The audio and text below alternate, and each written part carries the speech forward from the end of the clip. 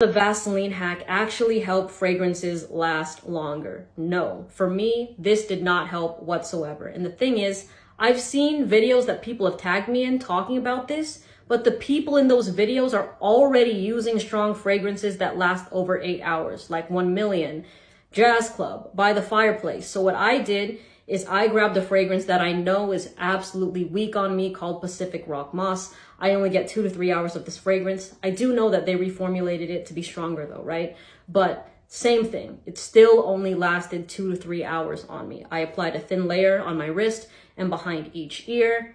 Same thing as if I didn't use Vaseline or unscented petroleum jelly. So what I would suggest to do is just make sure you're moisturized, then apply your fragrance. But what really works for me is when I put Molecule One on top of it. Because when I did Pacific Rock Moss and then Molecule One, I got seven hours, no problem.